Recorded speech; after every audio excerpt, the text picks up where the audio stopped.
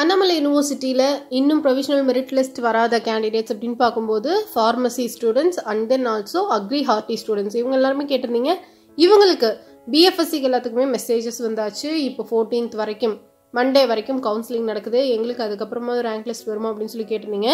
Pharmacy பொறுத்த வரைக்கும் உங்களுக்கு டிஎன் மெடிக்கல் செலெக்ஷனில் என்ன பண்ணியிருக்காங்க? சிக்ஸ்டீன்த் வரைக்கும் கவுன்சிலிங்க்கான certificate course and then diploma pharmacy கோர்ஸுக்கான online counselling update கொடுத்துருக்காங்க. ஸோ இந்த மாதிரி போயிட்டு இருக்கும்போது ஃபர்ஸ்ட் டிஎன் மெடிக்கல் செலெக்ஷனில் இந்த கவுன்சிலிங் ப்ராசஸ் ஃபர்ஸ்ட் ரவுண்டாவது கம்ப்ளீட் ஆகணும். அதுக்கப்புறம் நம்மளுக்கான சீட் அலாட்மெண்ட் அப்படிங்கிறது டிஎன் மெடிக்கல் செலெக்ஷனில் ஸ்டார்ட் ஆனாதான் அண்ணாமலை யூனிவர்சிட்டியில் கொடுப்பாங்க. பிகாஸ் நீங்கள் அண்ணாமலை யூனிவர்சிட்டியில் ஃபஸ்ட்டே ரேங்க் லிஸ்ட் ரிலீஸ் பண்ணி கவுன்சிலிங் ஸ்டார்ட் பண்ணிட்டாங்கன்னா அங்கே நீங்கள் டிஸ்கண்டினியூ பண்ணிவிட்டு டிஎன் மெடிக்கலில் சேர்றதுக்கு நிறைய கேண்டிடேட்ஸ் போவீங்க.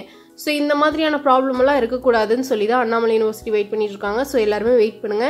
அக்ரி ஹார்ட்டியை பொறுத்த வரைக்கும் டிஎன்ஏயூவில் கவுன்சிலிங் ஆஃப்லைனோடது அனௌன்ஸ்மெண்ட் வந்தாச்சு. மற்றபடி வேற எந்த ஒரு அப்டேட்டும் வராதனாலையும் இப்போ டிஎன்ஏயு வந்தால் தான் அண்ணாமலை யூனிவர்சிட்டிக்கு நம்ம என்ன பண்ண முடியும்? வெயிட் பண்ண முடியும்.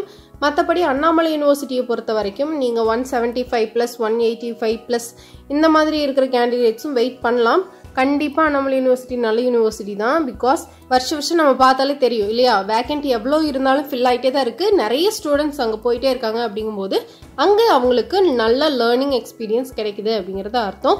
டிஎன் மெடிக்கல் செலெக்ஷன் பொறுத்த வரைக்கும் diploma certificate course other course எல்லாத்துக்குமே சிக்ஸ்டீன்த் வரைக்கும் டைம் கொடுத்துருக்காங்க. நீங்கள் ஃபஸ்ட் ரவுண்டில் சாய்ஸ் ஃபில்லிங் பண்ணி அட்டன் பண்ணால் மட்டும்தான் அடுத்தடுத்த ரவுண்டில் நீங்கள் கலந்துக்கிறதுக்கோ இல்லை அப்படின்னா வேறு ஏதோ ரீஅரேஞ்ச் பண்ணுறதுக்கோ வேறு ஏதாவது ஒரு அனௌன்ஸ்மெண்ட்லேயோ நீங்கள் என்ன பண்ண முடியும்? பார்ட்டிசிபேட் பண்ண முடியுமோ இல்லையே ஃபஸ்ட் ரவுண்ட்லேயே நீங்கள் சாய்ஸ் ஃபில் பண்ணல அட்டன் பண்ணல அப்படின்னா அடுத்தடுத்த சப்சீக்வெண்ட் ரவுண்டில் நீங்கள் என்ன பண்ண முடியாது?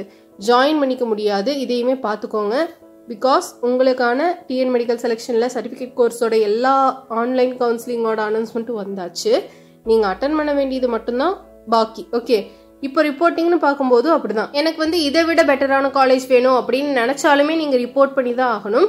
நான் இந்த காலேஜ்லேயே ஜாயின் பண்ண போகிறேன் அப்படின்னாலும் நீங்கள் அந்த டேட் அண்ட் டைம்குள்ளே ரிப்போர்ட் பண்ணி தான் ஆகணும். ரிப்போர்ட்டிங் மஸ்ட் ஓகே அதையும் பார்த்துக்கோங்க. All the best all of you share your knowledge as much as you can